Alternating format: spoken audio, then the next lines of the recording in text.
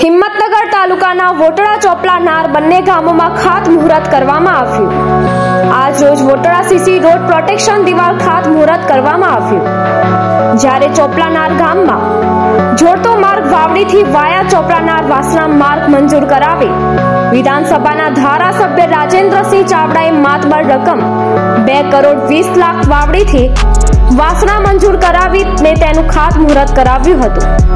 આ પ્રસંગે ભાજપના પ્રમુખ હસમુખભાઈ પટેલ, જિલ્લા પંચાયત સદસ્ય લાલસિંહ સાબરકાંઠાના બક્ષીપંચના પ્રમુખ બક્ષીપંચ કમલેશભાઈ બારોટ ચોપલાનાર સરપંચ સુરેખાબેન પટેલ, ડેપ્યુટી સરપંચ ભક્તિસિંહ મકવાણા, વનરાજસિંહ અમૃતસિંહ, મુકેશસિંહ ચોપલાનાર ઉપસ્થિત રહ્યા હતા.